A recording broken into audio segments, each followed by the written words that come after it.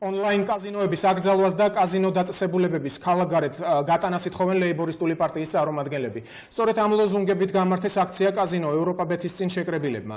მათი განცხადებით, ბევრი ადამიანის ცხოვრება, ვინც თამაშს იწყებს, სავალალო შედეგებამდე მიდის. ლეიბორისტული პარტია რამდენიმე დღეში კიდევ ერთი აქციის გამართვას სხვა კაზინოსთანაც გეგმავს.